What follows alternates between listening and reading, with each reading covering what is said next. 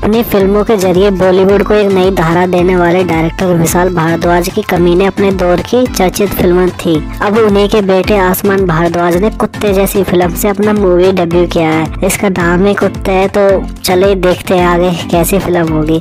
ये फ़िल्म पिता विशाल की फ़िल्म कमीने का एक्सटेंशन सा लगती है। कुछ हद तक वे पिता विशाल भारद्वाज की सिनेमाई परंपरा का यूज़ करते हुए नज़र भी आ रहे हैं। मगर इसमें कोई दोहराया नहीं है कि निर्देशक के रूप में आसमान की किलेबंदी मज़बूत रही है।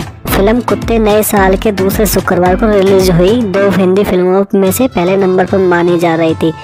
दो स्टार पाकर भी ये सबसे ऊपर है, क्योंकि इसके साथ रिलीज़ हुई फ़िल्म लकड़ बग्गा। इतनी खराब फ़िल्म निकली कि उसकी रेटिंग और नीचे चली गई। दोस्तों, बात करते हैं कुत्ते फ़िल्म की कहानी की।